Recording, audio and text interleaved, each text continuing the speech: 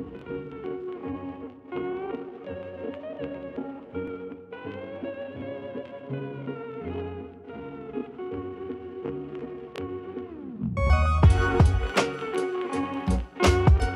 velho do Rio. O velho do Rio dá ótimos conselhos pra, pra Juma. Ela é esquentadinha. Parecendo um bicho do mato, uma sei lá o que, uma onça, né? Que vira onça quando tá com raiva.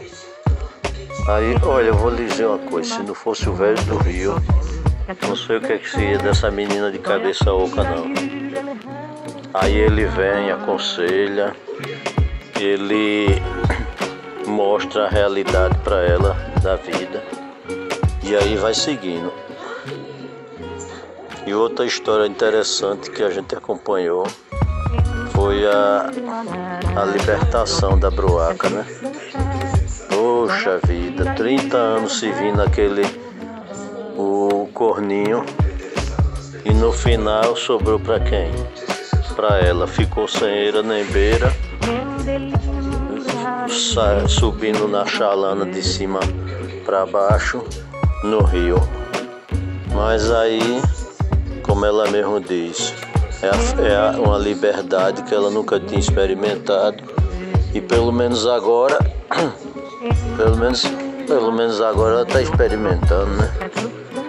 A liberdade, cantando suas músicas na chalana, esquecendo da vida que tinha com aquele miserável do, do marido dela que mereceu os cornos que levou. E agora colocou outra no lugar. Outra Maria Bruaca. Vamos ver o que é que vai dar. É, gente. Nas horas vagas a gente acompanha né, essas historiazinhas e também a gente conta as histórias do, do nosso sitinho, da vida na roça. A vida com a natureza, a vida natural, que é muito boa.